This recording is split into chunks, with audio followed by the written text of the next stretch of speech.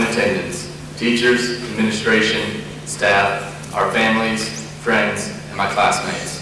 Thank you all for coming. Your presence here means a lot to all of us. My dad's cousin told me I should make this speech short and sweet, so I considered ending it right here. But I knew all of you would be on the edge of your seats waiting to hear my words of wisdom. When I thought about what I was going to say here today, I was terrified at the thought of having to speak in front of so many people and decided the best course of action be to write it just like my research paper and wait until the last minute. Once I finally sat down and actually put some thought into what I was going to say, I realized that no matter what I said, I've never put into words the memories from the time spent with all of you. Salutatorian speeches typically reflect on the past, but I'd like to start by addressing the future. You've all heard numerous graduation cliches, such as, graduation isn't the end, it's a new beginning. We are the future leaders of America, and today is the first day of the rest of your life. I'd like to quote some lyrics by Bon Jovi. It's my life, it's now or never. I ain't gonna live forever, I just wanna live while I'm alive. I think this song sums up my feelings this evening about the future. Starting today, everyone is on a different path, whether it is college, vocational, or work. Graduation gives us an opportunity to really live our own lives. Fountain Central has been our box for the past 13 years, where teachers know your name and your friends are sitting next to you in class. Well, it's time to step out of that box and experience new things and meet new people. We're not guaranteed any amount of time here on earth, as we all know too well, so it's important to live life to its fullest. Never waste a second when you be out doing something fun and exciting. Every wasted moment is a lost opportunity to become someone great. No matter what you do with your life, have fun doing it. 13 years of school have produced many memorable moments. Here are a few highlights. When terrorists attacked our country on September 11th, we sat in class horrified as we saw what happening on the TV. We were lucky to get our licenses in time for $3 a gallon gas to interfere with late night cruising in Veedersburg. When it came to our new health code, Mr. Johnson Dave Sims, or should I say DJ MC and Eminem and Eminem, put it best. You can put anything in a pocket to make it healthy. While all these are memorable events that will we will, that we'll be able to look back on for the next few years, the memories will eventually fade as new ones are made. There is, however, one event that has impacted the class of 2006 in such a way that it will never be forgotten, regardless of the number of years that pass by. The morning of March 5th, 2004 defined our class as one that was strong, even in a time of sadness. We all looked to each other for strength, and Evan brought our class closer together in grief. My friend who could light up a room with his smile and incredible sense of humor did something I'm sure he would have never thought he would do. He taught us a lesson of life, that we should never take our friends and family for granted, a lesson that was learned the hardest way possible.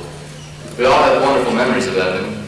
Who could forget seeing Evan do a flip after being tackled by Emily in the game of tackle tag? Every day in Mr. Welch's Bozo class, we'd find new places to hide Evan's books and laugh as he frankly looked for them before the bell rang.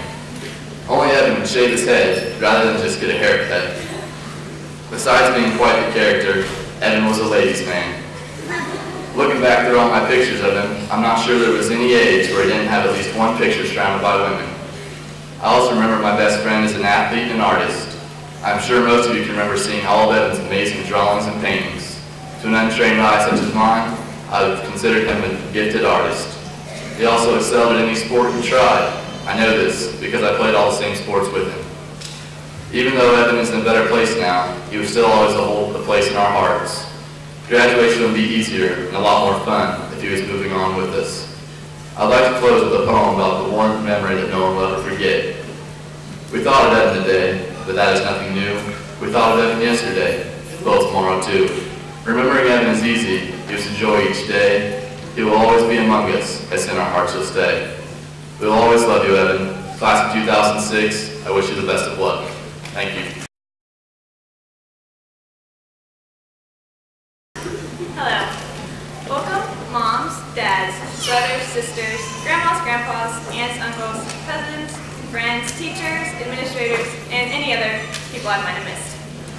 On behalf of the entire senior class, I would like to thank you for being here tonight as we end our high school careers and embark on a whole new journey in life. I personally would like to thank God for being my savior and keeper all of these years. No matter how badly I may have messed up, he was always there for me whenever I would go to him. Also, I would like to thank my parents. They have supported me ever since I can remember, uh, especially the last three years since my older brothers have all graduated and I've been the only one at home. Um, that's had its benefits, also its downfalls. I want to thank all of my friends and teachers who have put in the extra effort to tell me either to do my homework or to take a break and have some fun. Who knows how far I would have made it without the help and support all of them have given me throughout the years. When many students graduate high school, they go to college, the military, to the workforce, or stay at home and start a family. But no matter where or what they do, they'll eventually define their lives by how they have succeeded or failed in all of their endeavors. But what does it mean to actually succeed?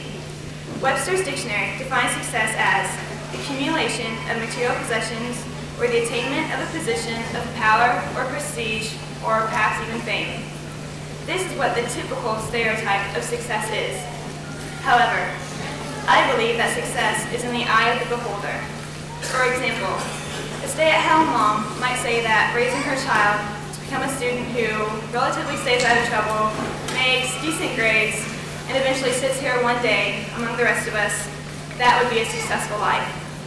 Or maybe a dad has to work three jobs just to provide for his family, who may not have the big corporate job, but he is still able to give his family the things that they need to live a happy and full life. His children wouldn't care if he came home in a suit and tie or if he came all greasy and covered up in dirt. They would see him as a dad who loves them and would do anything in the world to give them all that they wanted. In my eyes, he would be just as successful as any other man. But then, what about that other man? The man or woman who sits behind that big desk who put in the extra hours to get where he or she was that day. They are just as successful as anybody else, as long as they think they are. If in their minds, having the best of everything was always what they wanted, and they are truly satisfied with the way they are living, then they too are successful. But on the other hand, the person who does have the Ferrari, 60-inch plasma TV, a huge bank account may not be as happy as the person who does work for three jobs and is able to provide for his family. Perhaps all of those possessions are not all that they need in order to be truly satisfied with their life. So what is the use of all that stuff if you're not even content to enjoy it? But who says you have to be out of high school and have a career in order to be a successful individual? What about that one student who has all of the friends you can imagine, is wearing a smile on his or her face, and even when everything seems to be going wrong, can step into that classroom and say just the right thing to make your day better. We had a student like that. His name was Evan. I believe that he was a successful 16-year-old. He may not have been at the top of his class, nor had the most money, but he always had a smile on his face. Even on the day he died, he was on his way to something he loved. No, sorry, it wasn't school. It was baseball practice. He was en route to being with his teammates and friends. I don't believe that there was one dry in that school that day. Now, if that doesn't sow a successful life, I don't know what does. Personally, I define success as going to college and graduating as a registered nurse. Apparently, like several other of my classmates, for I'm not the only one going to be a nurse, um, blood, broken bones, poking people with needles, and getting paid for all of that just sounds like pure enjoyment. You can ask Mr. Welchams himself. I absolutely loved getting the cat out gutting it open, cutting it up, and studying everything that was inside of it. The human body just simply fascinates me. I would always pick his brain during the lessons and take all the information I could take out of it, and or half the other classmates because they wanted to move on. I have been asked, however, why stop at being a nurse? Why not become a doctor? Well, first of all, I'm just getting out of high school after being in it for 13 more years, I don't want to go back for nearly that long again.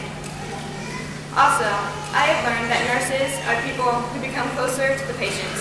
They don't just see them as symptoms. They know the story behind the illness or the injury.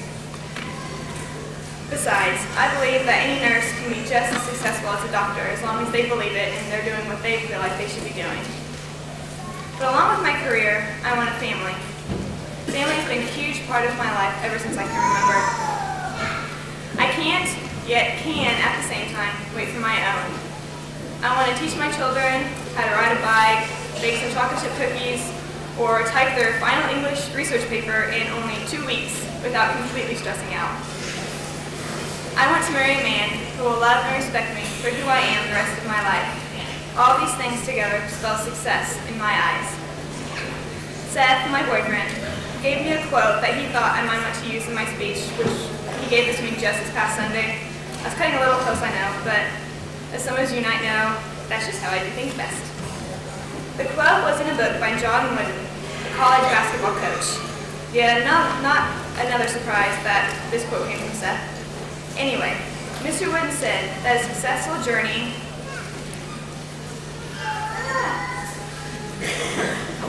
Oh, that's cool. I didn't hear my last page. Oh, there it is. A successful journey is the destination. I believe that what he meant by this was that graduating high school, going to college, getting a job, starting a family, or accomplishing whatever dreams you might have are all stepping stones to your final destination. So in 50 years down the road, you'll find yourself looking back at all the accomplishments and mistakes that you may have made that got you where you are today, and you know that you have no regrets about how you have lived, then I believe that you have reached your final destination and have lived a complete and successful life. And I hope all of you that are sitting here in front of me today reach that goal.